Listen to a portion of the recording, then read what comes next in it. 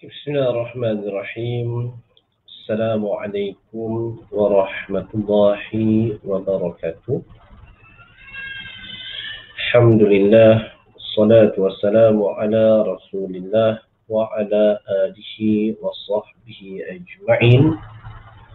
سبحانك لا علم لنا إلا ما علمتنا إنك أنت العليم الحكيم.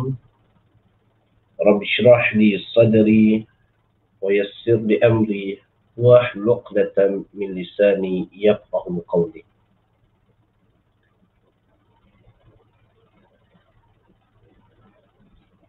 Apa khabar tuan-tuan, puan-puan, rahmat Allah Subhanahu wa taala sekalian? Jadi insya-Allah pada malam ini kita akan mengadakan kelas asas bahasa Arab kelas-kelas santai tuan-tuan perempuan sekalian untuk kita membincangkan berkaitan dengan ilmu bahasa Arab lebih-lebih lagi yang berkaitan dengan tata bahasa ilmu bahasa Arab. Baik. Sebelum itu saya Usman Al-Amani bin Haji Azlan tenaga pengajar di uh, Jom Berbahasa Arab Enterprise bersama tuan-tuan, puan-puan sekalian. Untuk hari yang pertama ini sebagai pembuka bicara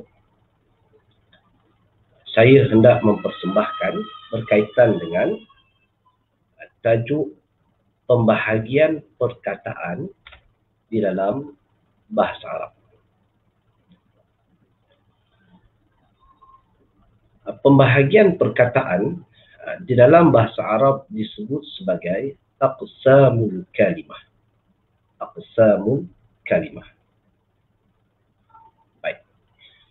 Aqsamul kalimah di dalam bahasa Arab itu terbahagi kepada tiga bahagian. Yang pertama disebut sebagai ismun. Manakala yang kedua disebut sebagai fi'lun. Sementara yang ketiga disebut sebagai harfun. Baik. Aqsamul kalimah di dalam bahasa Arab terbahagi kepada tiga bahagian. Jadi perkataan di dalam bahasa Arab itu terbahagi kepada tiga bahagian. Yang pertama perkataan ataupun kalimah isim yang kedua kalimah fi'lun, fi'il. Dan yang ketiga kalimah harf. Baik. Apakah yang dimaksudkan dengan ismun? Okay, sebagaimana yang tertera di skrin. Ismun itu ialah perkataan yang menunjukkan kepada manusia, binatang, tumbuh tumbuhan benda nama tempat dan sesuatu yang tidak berkait dengan masa. Disebut sebagai ismun atau kata nama. Baik dalam bahasa Melayu kita sebut kata nama. Jadi yang saya nak maksudkan di sini ialah ismun itu ia adalah suatu perkataan yang hanya menunjukkan kepada manusia. Di dalam Al-Quran ada lafaz berkaitan dengan manusia. Nama manusia, kemudian tentang manusia. Begitu juga ada kalimah binatang yang tertera dalam Al-Quranul Karim uh, seperti kalbun, seekor anjing jantan, yang angkabut, ya, laba-laba, Itu adalah ismun. Begitu juga dengan tumbuhan. Ada juga disebutkan di dalam Al-Quran. Benda, nama, tempat dan sesuatu yang tidak berkait dengan masa. Ha, dia tidak ada masa. Tak ada kaitan dengan masa lalu, masa sedang berlaku, akan berlaku, arahan perintah dia tak ada kaitan dengan masa dan disebut sebagai kata nama. Itulah ismun tuan-tuan. Ya. Baik. Jadi, uh, hari ini insya-Allah saya nak bincangkan kalimah yang pertama di dalam bahasa Arab itu ialah ismun. Baik. Bagaimana kalau kita nak mengenali kalimah ismun di dalam Al-Quran, di dalam hadis, begitu juga dalam penulisan-penulisan Arab. Bagi mereka yang tidak mengetahui makna, saya tak tahu apakah makna kalimah ini. Adakah kalimah ini merujuk kepada manusia? Atau kalimah ini merujuk kepada binatang? Atau kalimah ini merujuk kepada tumbuh-tumbuhan? benda, nama tempat dan sesuatu yang tidak berkait dengan masa. Saya tak tahu. Maka para ulama, Alhamdulillah, telah menukilkan beberapa kaedah untuk mengenali kalimah yang berupa isim. Antaranya tuan-tuan perempuan sekalian ialah perkataan isim dapat dikenal pasti dengan pertama tanwin. Tanwin. Contoh. Contoh perkataan isim yang dimasuki tanwin pada huruf terakhir perkataan. Jikalau saya menyebut muslimun. muslimun. Dia tanya orang, Ustaz, muslimun ini ismun ke, fe'lun ke, atau harfun? Maka saya jawab, muslimun itu adalah kalimah isim, kata nama.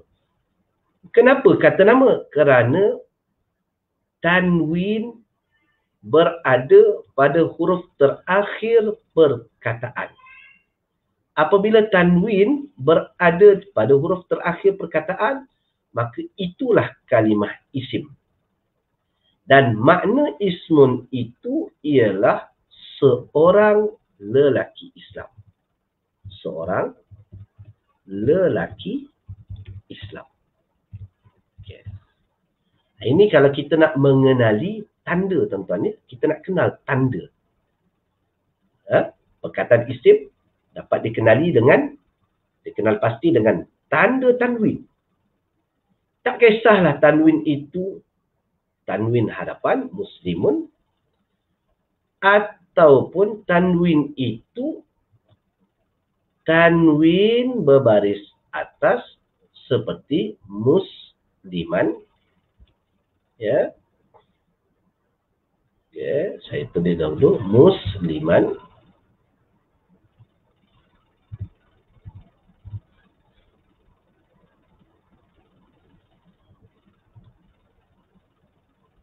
Ah, Tanwin muslimun. Yang kedua musliman Tanwin berbaris atas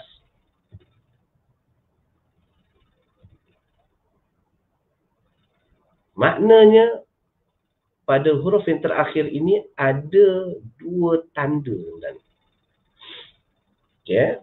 musliman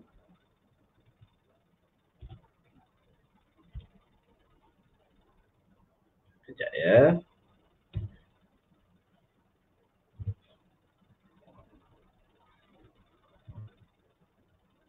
ataupun ia dimasuki dengan tanwin berbaris bawah okay. tanwin berbaris bah, bawah. Muslimin. Ya.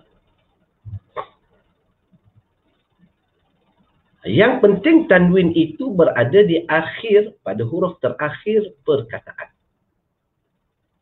Maka apabila saya mendapati sesuatu kalimah. Apa makna kalimah? Kalimah itu perkataan ataupun boleh diterjemah dengan kata. Nah, itulah kalimah tuan-tuan ya. Dalam bahasa Inggeris disebut sebagai word. Maka tahulah saya muslimun itu kalimah isim. Musliman itu juga kalimah isim. Muslimin itu juga kalimah isim. Maknanya ialah seorang lelaki Islam. Muslimun pun bermakna seorang lelaki Islam. Musliman pun bermakna seorang lelaki Islam. Muslimin pun bermakna seorang lelaki Islam. Soalan, kenapa bila ditanwinkan harapan, ditanwinkan atas dan ditanwinkan bawah, ianya berubah-ubah? Maka saya jawab, maknanya sama tetapi status kalimah itu berbeza. Ya, ah, itulah nahu tuan-tuan. Itulah na, nahu bila dibacakan muslimun, bila dibacakan musliman dan bila dibacakan dengan muslimin. Itu nahu. Tapi dari sudut mengenal pasti perkataan isim apabila tanwin berada pada huruf terakhir perkataan. Baik. Umpama tuan-tuan ya, dalam surah Yasin. Surah Yasin ada perkataan rajulun. Tuan-tuan ya, perkataan rajulun. Kata rajulun. Bertanwin. Ha, itu adalah isim lah. Okey, baik. Yang seterusnya, perkataan isim dapat dikenal pasti dengan adanya alif lam di awal perkataan. Okay, di awal per, perkataan. Jadi kita cuba masukkan alif lam di awal per, perkataan. Kita ambil ke semua perkataan ini semula tuan-tuan ya.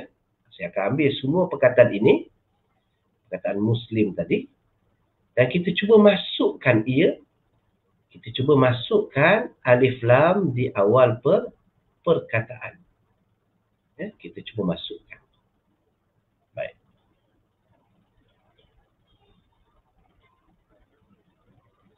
Okey. Apabila alif lam berada di awal perkataan. Alif lam berada di awal perkataan. Seperti saya sebut al. Al. Okey, al. Apabila alif lam memasuki awal perkataan al. Mus maka tanwin itu perlu dihazafkan, perlu dibuangkan. Diletakkan satu tanda baris hadapan sahaja jadilah al-muslimun. Ha, maka alif lam yang berada di awal perkataan menunjukkan perkataan itu adalah perkataan isim. Saya masukkan alif lam al. Okey, saya letak alif lam al. Apabila alif lam memasuki perkataan musliman maka hendaklah dibaca dengan al-muslima. Buangkan tanwin. Maka automatik saya akan buangkan tanwin. Begitu juga dengan alif lam memasuki perkataan muslimin. Maka saya akan baca dengan al muslimi. Bermakna apa? Tanwin itu perlu dibuang. Apabila alif lam berada di awal perkataan. Okay. Ha, jadi ini satu ilmu tuan-tuan ya. Bila tak ada alif lam, ditanwinkan. apabila adanya alif lam dihilangkan tanwin di akhir perkataan. Okey? Dan yang ketiga, nak kenal pasti perkataan isim apabila perkataan itu dimasuki huruf jar. Perkataan itu dimasuki huruf jar. Apakah itu huruf jar? Huruf jar itu ialah kata tugas. InsyaAllah nanti tuan-tuan akan belajar dalam perbahasan yang ketiga, kalimah yang ketiga. Huruf jar, harf. Apa itu harf? Perkataan selain isim dan fi'il yang berfungsi mendukung tugas-tugas tertentu dalam binaan ayat. Okey. Huruf itu banyak. Antaranya ialah harf jar. Apa itu huruf jar? Huruf jar ialah seperti min. Tuan jumpa min dalam Al-Quran. Min. Okey. Ila.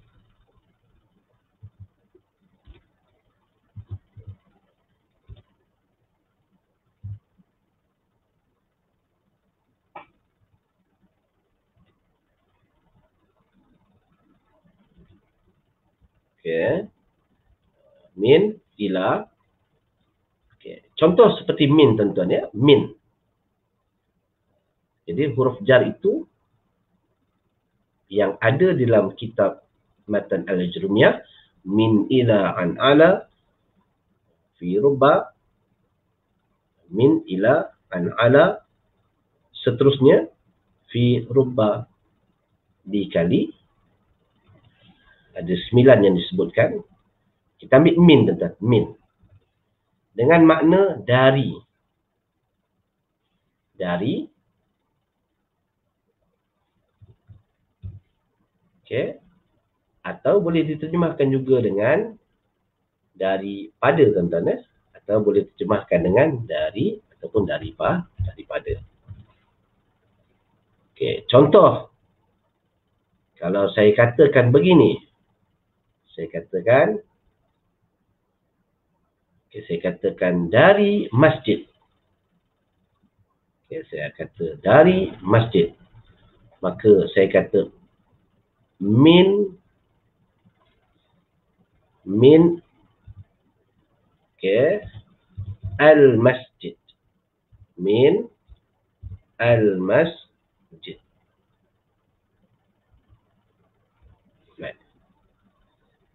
asalnya min asalnya min kemudian al masjid. Min kemudian al masjid. Al masjid adalah kalimah isim yang menunjukkan makna masjid. Makna masjid itu adalah isim. Okey. Min al masjid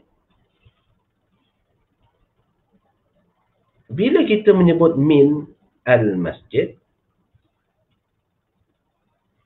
okay, di sini tuan-tuan berlaku iltiqa usakinain, pertemuan dua sukun. Maka kita buangkan sukun yang pertama dengan menghidupkan sukun yang pertama ini, lalu kita katakan mina. Minal masjidi. Minal mas jidi. Asalnya min, bila bertemu dua sukun, saya hidupkan sukun nun ini, sukun pertama, maka jadilah bacaan itu minal masjidi. Ha, bila mana ada min, saya tahulah perkataan sesudah huruf jar itu, perkataan al-masjid ini adalah perkataan isim. Ya? Baik. Dan menerima tanda huruf jar. Di antara tanda huruf jar yang famous, ya, tanda asal huruf jar itu ialah berbaris kasrah. Iaitu kasrah. Ini tanda famous. Kasrah. Iaitu berbaris bah, bawah. Tuan-tuan, ya. Kasrah itu bah, bawah. Baris bawah. Jadi apa yang dapat kita fahami di sini? Ini adalah empat tanda yang biasanya masuk pada isim. Ada tak tanda yang lain lagi? Ada tuan-tuan. InsyaAllah kita akan mengetahui sedikit demi sedikit memadai untuk tuan-tuan perempuan mengingat empat tanda ini. Bagaimana nak kenal isim? Perkataan isim dapat dikenal pasti dengan keberadaan tanwin pada huruf terakhir perkataan. Ingat, tuan ingat perkataan muslimun. Musliman, muslimin. Yang kedua, alif lam yang berada di awal perkataan al-muslimu, al-muslima, al-muslimi. Yang ketiga, perkataan dimasuki huruf jar. Antara huruf jar itu ialah min. Min dari ila ke. InsyaAllah kita akan tengok nanti. Minal masjidi. Dan yang keempat, perkataan itu menerima tanda-tanda hukum jar. Antara tanda hukum jar itu ialah kasrah berbaris bawah. Dan ada tanda yang lain ya yang ganti kepada kasrah. Insya-Allah itu kita akan pelajari dengan lebih lanjut. Baik. Okay, jadi untuk hari ini saya ulang semula kalimah pembahagian kalimah perkataan itu terbahagi kepada tiga. Yang pertama ismun. Jadi tuan-tuan, perempuan bolehlah mengenali selepas ini perkataan isim yang ada di dalam Al-Quranul Karim. Dengan apa?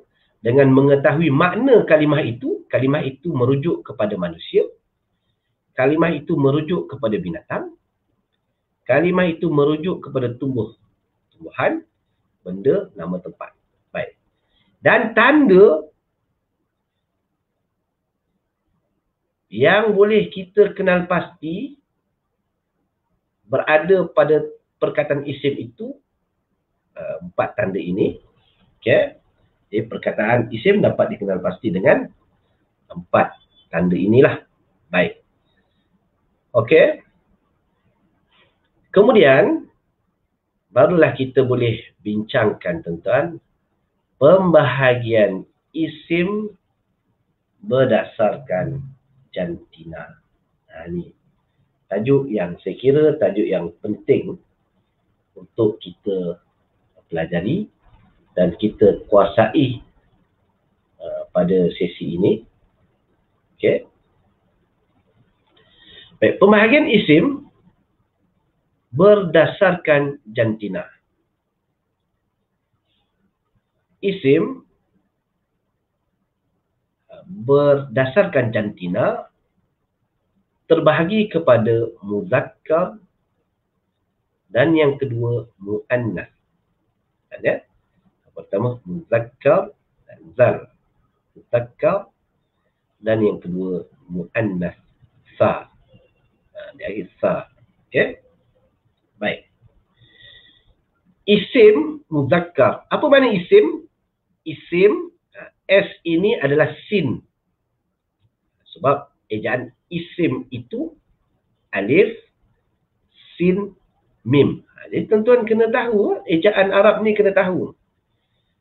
Isim itu dieja dengan alif, sin, mim. Okay. Ha, saya tulis kat sini.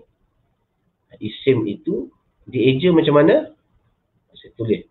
Isim itu dieja dengan alif, sin, mim. Apa makna ismun? Ismun itu ialah kata nama. Okey. Jadi ismun. Saya pakai sin.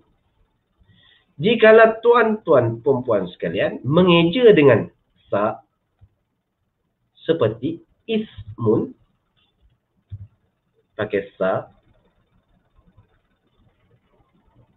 apa maksud dia ismun ini adalah dosa Ha, ini ilmu huruf-huruf Al-Quran.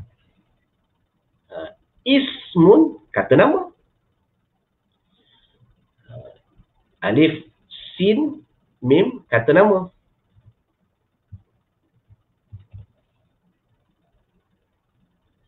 Sementara ismun ha, alif hamzah samim adalah dosa tuan ya. Dosa. Bermakna dosa. Ha. Jadi apabila kita menulis Rumi kena tahu juga ejaan Arabnya. Ya. Yeah? Ha, jadi kalau tuan-tuan berhajat untuk memiliki buku formula huruf Al-Quran uh, boleh dapatkan daripada saya uh, yang telah di di uh, berikan kata-kata aluan oleh uh, Sahibul Samahah uh, Datuk Mufti Datuk Muhammad Yusof Mufti Kerajaan uh, Mufti Kerajaan Negeri Sembilan Mufti Negeri Sembilan. Uh, buku itu mengisahkan berkaitan dengan uh, tempat-tempat keluar suara huruf Al-Quran, begitu juga dengan sifat-sifat huruf Al-Quran dan huruf yang perlu ditafkhim dan ditarkibkan beserta dengan jadual dan gambar rajah. Contohnya buku Formula Huruf Al-Quran. InsyaAllah, kalau ada di kalangan tuan-tuan sidang hadirin yang mendengar kuliah sesi pertama ini, uh, boleh uh, dapatkan uh, boleh bertanya lanjut selepas ini. Baik. Kerana huruf itu penting tuan-tuan ya. Bahkan kalau kita menyalin uh, segala doa-doa daripada tuan-tuan guru daripada ustaz-ustaz yang mengajar di masjid dan di surau ya. Banyak. Kalau kita tidak uh, mengenal pasti uh, sebutan huruf itu kita akan tertukar. Biasanya tertukar sebagaimana yang saya tunjukkan ini, ismun, kata nama. Ismun, dosa. Ha, berbeza tuan-tuan ya. Baik.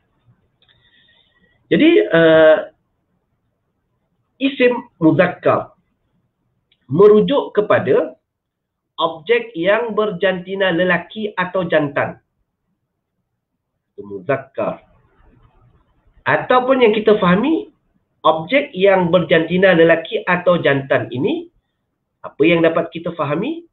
Ia memiliki zakar. Dan apabila saya menyebutkan objek, isim isim zakar itu merujuk kepada objek yang berjantina lelaki atau jantan yang dapat kita fahami daripada dilalah definisi ini ialah ianya memiliki zakar. Seperti saya sebut kalimah Muhammadun. Muhammadun ini adalah isim. Macam mana tahu dia isim Ustaz? Di akhir dia ada tanwin. Baik. Apa makna Muhammad? Muhammadun ini adalah nama yang ditasmiahkan ke atas tuan punya badan seorang lelaki yang memiliki zakar. Muhammadun. Apabila kita menyebut Muhammadun, otomatik dalam fikiran kita membayangkan ianya adalah objek yang berjantina lelaki dan ianya merupakan muzakkar. Begitu juga jika saya sebut muslimun. Muslimun di akhirnya bertanwin. Maka dah difahamilah, dapatlah saya fahami kalimah ini, perkataan ini adalah isim. Bermakna seorang lelaki Islam. Seorang lelaki Islam. Macam manalah Ustaz tahu dia seorang lelaki Islam? Sebab di akhirnya itu tak ada tamar butah. Ha, tak ada tanda, tak ada tanda mu'annaf. Kita akan belajar nanti. Maka muslimun ini seorang lelaki Islam, sudah pastilah ia adalah objek yang berjantina lelah lelaki. Ketun ketun seekor kucing jantan. Ha, bila sebut ketun, ket. Ha, orang Inggeris sebut kitten. Orang Arab sebut ketun. Ha, seekor kucing jantan.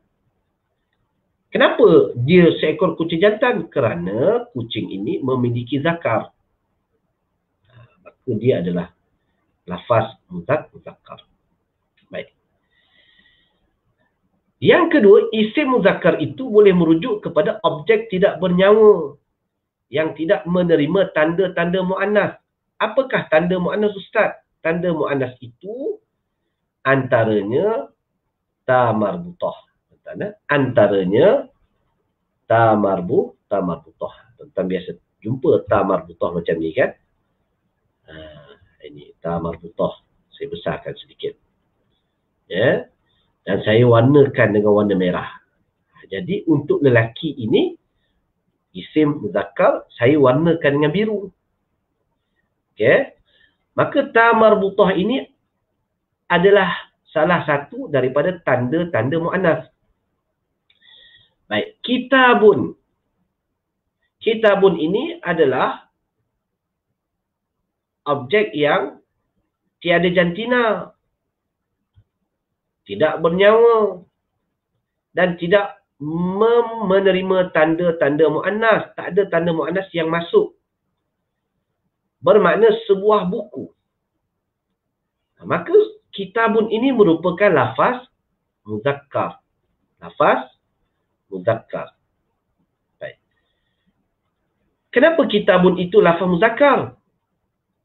Sebab saya katakan kerana kitabun itu tidak menerima tanda mu'an mu'annas. Saya pangkahkan, saya buat. Tak ada tanda mu'annas. Okay. Kitabun di akhir tak ada tanda mu'annas. Yeah. Baik. Miftahun. Kunci. Di akhir tak ada tanda mu'annas. Miftahun.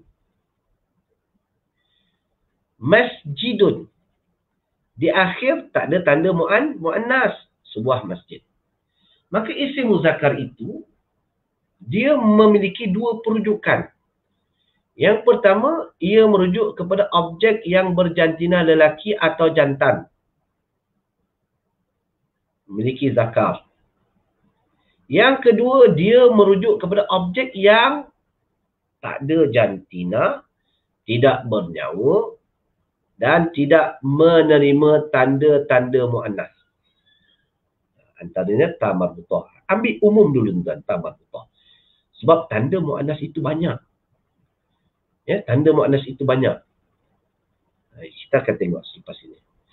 Okey, yang kedua, mu'annas. Isim mu'annas merujuk kepada objek yang berjantina perempuan atau betina. Dapatlah kita fahami bahawa objek itu memiliki farj. Seperti saya kata, uh, farj. Farj ini kemaluan lah. Alat kelamin bagi perempuan atau betina. Seperti saya sebutkan Nafisah. Nafisah tu. Nafisah ini adalah nama yang ditasmiahkan kepada seseorang yang bertubuhkan wanita memiliki farj. Nafisah. Muslimatun. Seorang perempuan Islam. Muslimatun adalah isim sebab di akhirnya bertanwin. Memiliki maksud seorang perempuan Islam. Kittatun, kittah. Isim kerana di akhirnya memiliki tanwin. Okay, menerima tanwin.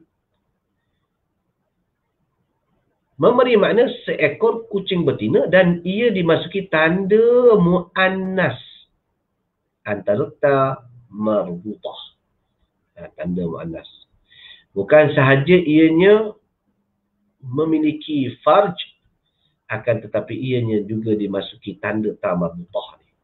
Ta marbutah ta marbutah okey? Baik. Yang kedua, isim mu'annas boleh merujuk kepada objek yang tidak memiliki farj, tak ada jantina, tidak bernyawa, iaitu objek tidak bernyawa, akan tetapi dia menerima tanda-tanda mu'annas. Apakah tanda mu'annas?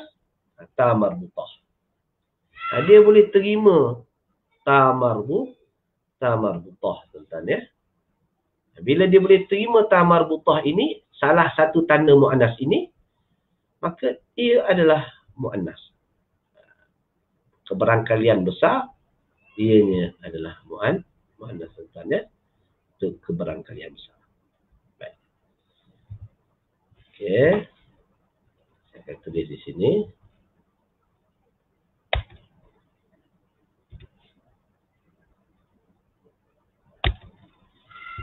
Baik.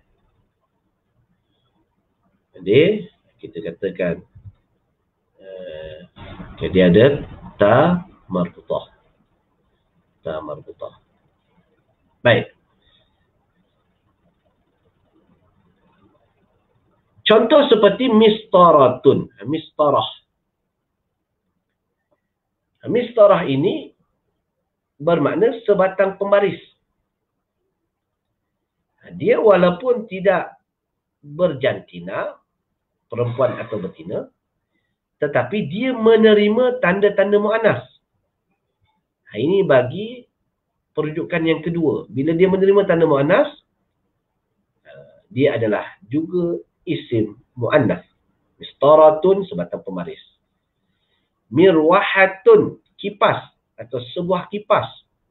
Ha, mirwahatun.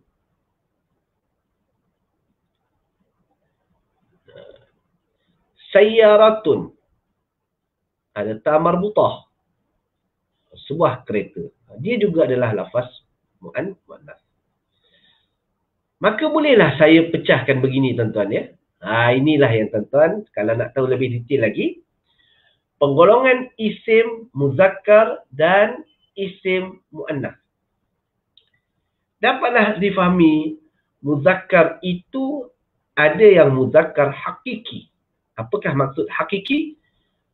Muzakkar yang ada zakar. Ha, bila ada zakar, berjantina lelaki di kalangan manusia, jantan di kalangan haiwan. Seperti Muhammadun. Saya tahulah Muhammadun ini muzakkar. Kalau diperincikan lagi, muzakkar hakiki. Eh? Muslimun, seorang lelaki Islam. Muslimun muzakkar diperincikan lagi hakiki sebab dia ada zakat. Kitun seekor kucing jantan muzakkar diperincikan lagi dia adalah hakiki kerana ada zakat. Seekor kucing jantan. Yang kedua muzakkar majazi. Apa makna muzakkar majazi? Tiada zakar dan tiada tanda muannas. Seperti kitabun. Buku tuan-tuan Tengok buku. Ha, buku. Buku saya ni. Buku. Ya. Buku ini kita belek atas bawah. Ada tak zakar? Tak ada Ustaz alat kelamin ni. Dan ada tak pada perkataan kitabun itu tanda mu'annas? Ada tak tamar butah? Tak ada. Saya baca kitabun. Saya tak baca kitab batun. Saya baca kitab. Sebuah buku. Dan perkataan kitabun itu memang dikategorikan muzakkar. Tapi muzakkar maja, majazi. Kenapa majazi? Kerana tiada zakar dan tiada tanda manas. Miftahun kunci. Ha, kunci. Bila sebut kunci, miftahun. Macam mana tahu miftahun ini isim? Ada tak tanwin? Ada Ustaz? di akhir huruf akhir perkataan kena ismun makna miftahun itu kunci tengok pada kunci tuan-tuan tengok pada kunci tuan-tuan ada tak zakar tak ada dan ada tak tanda muannas pada perkataan miftah tak ada masjidun masjid begitu juga masjid masjid adalah sebuah masjid masjid adalah objek yang tak ada zakar dan pada kalimah masjid tiada tanda mu'an mu'annas. Okey. Kita lihat pula mu'annas. Mu'annas terbahagi kepada mu'annas hakiki. Apa itu mu'annas hakiki? Ada farj dan boleh melahirkan. Seperti nafisatu. Nafisah. Nafisah ini nama yang ditasmiahkan kepada seorang yang bertubuhkan wanita. Ada farj. Okey. Dan dia sifat tabi'i dia boleh melahirkan. Baik. Begitu muslimatun seorang perempuan Islam. Begitu juga qittatun, seekor kucing betina. Ada farj. Eh, dan boleh melahirkan. Baik. Mu'annas majazi. Yang kedua, mu'annas majazi. Tiada zakar. Tiada farj. Dan hanya ada tanda mu'annas. Tuan-tuan tengok mistaratun, mistarah. Ha, ini tuan-tuan dapat perkataan baru. Mistarah. Sebatang pembaris. Tengok, pembaris. Ada tak zakar? Tak ada. Ada tak farj? Pun tak ada. Dan kenapa dia mu'annas? Dikategorikan mu'annas majazi kerana ada ta marutah. Tanda mu'annas. Mirwahatun, mirwahah. Kipas. Kipas tiada zakar, tiada farj. Tapi ada tanda mu'annas ta marfudah. Maka dia mu'annas majazi. Sayyaratun. Sayyaratun. Tiada zakar. Tiada farj. Kereta. Sebuah kereta. Nanti tengok pada kereta tuan-tuan sekalian. Di bawah, di depan, di belakang. Ada tak zakar? Ada tak farj? Tak ada. Yang hanya ada tanda mu'annas pada kalimah sayyaratun. Maka dia mu'annas tapi mu'annas majazi. Maka dapatlah difahami di sini bahawa muzakkar itu ada yang hakiki dan muzakkar itu ada yang majazi. Muannas itu ada yang hakiki dan muannas itu ada yang majazi. Ya, tuan ya. Kerana kalau di sekolah-sekolah mungkin ataupun di pusat-pusat pengajian tuan mendengarkan di kalangan ustaz-ustaz mengajarkan mutakat itu untuk lelaki, muannas itu untuk perempuan. Jadi ustaz itu dia memberi satu pemahaman yang mendekatkan diri pendengar supaya dia dapat faham terlebih dahulu apa itu muzakkar. Maka diberikan dengan muzakkar yang hakiki. Kalau nak tahu sesuatu itu dengan dengan dengan dekat, dengan jelas, maka diberikan hakikat terlebih dahulu maka ustaz itu, ustazah itu memberikan dengan muzakkar hakiki, begitu juga dengan muzakkar al-mu'annas hakiki. Sementara untuk penambahan malam ini, tuan-tuan mendapat satu lagi istilah muzakkar majazi, begitu juga dengan istilah yang baru mu'annas majaz majazi. Uh, tuan alhamdulillah. Baik. Kemudian apakah tanda-tanda mu'anas Ustaz? Orang tanya saya, apakah tanda-tanda mu'anas? Okay. Tanda-tanda mu'anas secara ringkas ada tujuh. Jadi insya Allah bagi mereka yang mengikuti kelas uh, bahasa Arab di bawah anjuran Jabatan Mufti Kerajaan Negeri Sembilan boleh dapatkan modul tata bahasa siri pertama daripada kami Ajun Berbahasa Arab. Serta akan mendapatilah beginilah ha, nota yang telah saya saya kupaskan secara ringkas tuan-tuan berjadual untuk memudahkan tuan-tuan memahami secara mudah terlebih dahulu apa itu bahasa Arab. Apabila tuan-tuan memiliki asas yang baik, insya-Allah barulah kita nanti beralih kepada uh, pembelajaran secara klasik iaitu melalui matan-matan yang telah dikarang oleh para ulama silam. Adapun yang saya tulis ini, ini juga adalah sedutan daripada matan-matan yang saya permudahkan supaya tuan-tuan perempuan dapat mengikuti kelas bersama-sama pada hari ini. Baik, tanda-tanda mu'annas. Apa itu mu'annas Ustaz? Ha, mu'annas ni yang ni tuan-tuan. Apa itu mu'annas? Mu'annas merujuk kepada objek yang berjantina perempuan atau betina. Ataupun mu'annas merujuk kepada objek tidak bernyawa akan tetapi menerima tanda-tanda mu'annas. Apakah itu tanda-tanda mu'anas? Tanda-tanda mu'anas ada tujuh. Pertama, tamarbutah. Tuan akan melihat ada tamarbutah ni. Ha, ni tamarbutah tuan-tuan. Tamarbutah. Tamarbutah ini macam-macam bentuk. Ada yang bentuk macam ni. ya, Ada yang macam ni. Saya cuba. Okay. Ada yang bentuk macam ni. Okay. Kemudian dia Ha, ada yang bentuk macam ni tuan-tuan ya.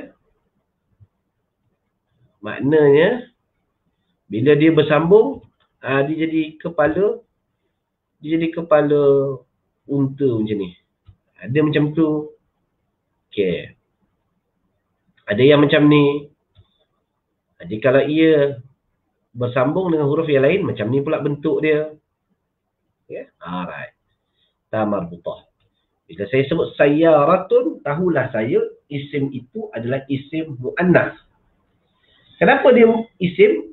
Ada tanwin. Okay. Kenapa dia... Okay, Ustaz. Kalau masukkan alif lam boleh tak? Boleh. Sebagaimana saya buat di sini. Boleh. Muslimun seorang lelaki Islam.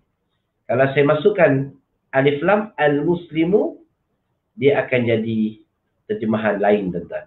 Saya ubah sikit. Dia akan jadi terjemahan yang lebih spesifik lah. InsyaAllah nanti tuan-tuan akan belajar tajuk yang lain lah. Uh, yang am dan khas. Bila saya kata al-muslimu masukkan alif lam, jadilah lelaki Islam itu. Ha, dia lebih umum lah tuan-tuan ya. Eh, dia lebih khusus. Al-Muslimu lelaki Islam itu.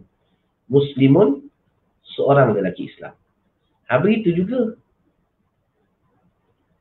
Sayyaratun sebuah kereta. Okay.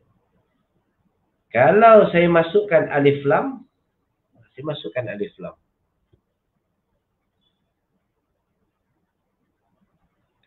saya kata as-sayyaratu. Alif lam. As-sayyaratu.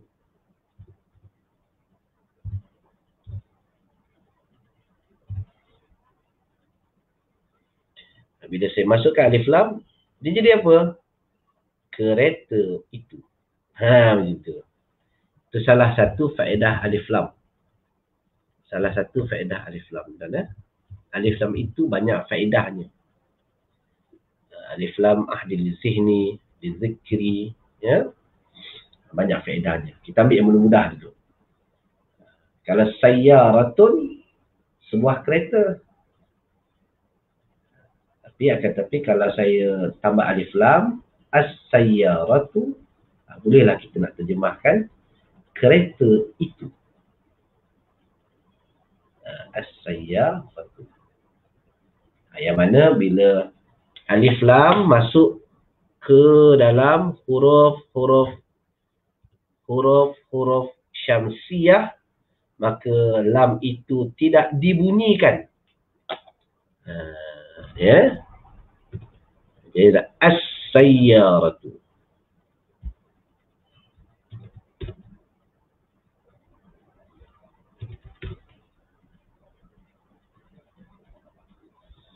Okay kereta itu. Ha. Baik. Yang kedua alif lam maksurah. Alif lam maksurah maksud dia alif lam pendek. Alif lam tu alif tu dia alif maksurah alif pendek itu ada di atas rumah ya ni tuan-tuan. Dan ya tu tak bertitik lah seperti saya baca salwa. Salwa tu sejenis burung tetapi ditasmiahkan, dinamakan kepada seorang wanita. Sebab itu kita tengok wanita itu dinamakan dengan sal, salwa ya. Wanita dinamakan dengan sal, salwa. Kita apa? Tuan-tuan, lihat dahulu. Nombor tiga, alif mamdudah. Alif yang dipanjangkan. Yang dimaksudkan alif membudah, alif yang diiringi hamzah. Sauda hitam. Jadi lafaz sauda itu adalah lafaz mu'annas. Ustaz, biasa yang saya baca hitam itu aswad orang tanya saya. Hitam itu aswad. Okay, saya tulis. Saya tulis terlebih dahulu. Saya minta maaf tuan ya kalau saya lambat tulis. Sebab di keyboard ni tak ada tak ada huruf Arab. Jadi saya agak-agak lah. Okay, aswad.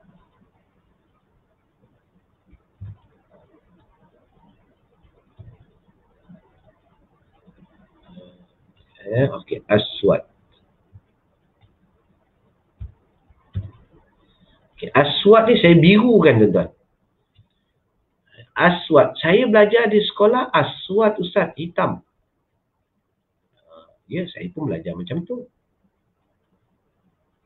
Okey. Tapi kenapa sauda itu hitam? inilah kelebihan bahasa Arab tuan-tuan ya. Ha, dalam bahasa Arab ni, dia boleh mengasingkan kalimah muzakkar dan muannas. Sauda ini hitam adalah sifat untuk objek muannas. Seperti saya kata, tuan-tuan biasa dengar habbatun sauda, bijian hitam. Habbatun habbatun sauda. Jadi sauda itu hitam. Bila nak dipakaikan warna hitam dengan sebutan muannas sauda apabila ia merupakan sifat bagi objek muannas. Habbah. Habbah kan muannas. Okey, biji. Sauda hitam maka saya terjemahlah di sini habbatun sauda biji hi biji hitam. Baik. Aswad. Okay. aswad pun hitam juga. Ia adalah sifat bagi objek yang muzakkar kalau saya sebut seperti hajarun aswad. Hajarun aswad. Dia kata hajarun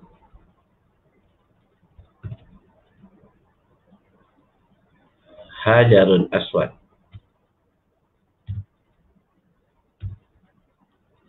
Apa makna hajarun aswad? Hajarun aswad bermakna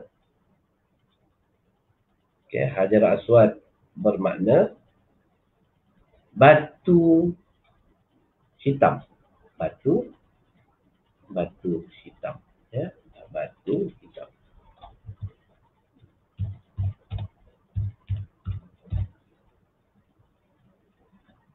Batu hitam.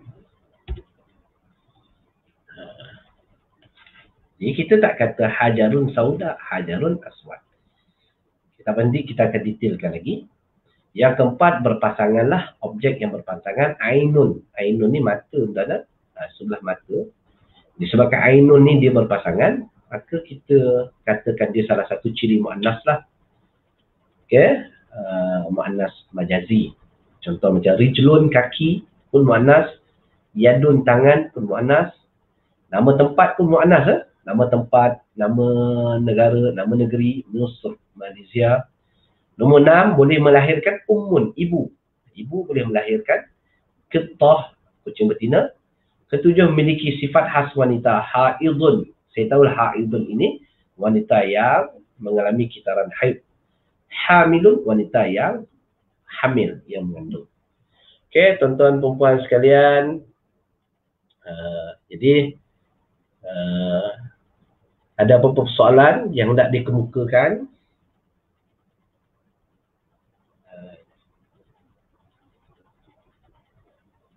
baik